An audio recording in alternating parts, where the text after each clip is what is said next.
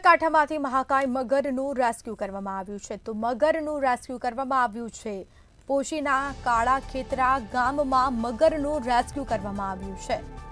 બીજી તરફ રહેણાક વિસ્તારમાં મગર આવતા લોકોમાં પણ ડરનો માહોલ જોવા મળ્યો હતો એક ભયનો માહોલ જોવા મળ્યો હતો પોશીના ફોરેસ્ટ વિભાગ દ્વારા રેસ્ક્યુનું કામગીરી હાથ ધરવામાં આવી હતી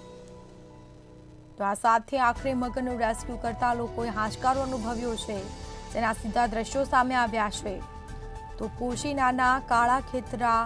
ગામમાં મગરનું રેસ્ક્યુ કરવામાં આવ્યું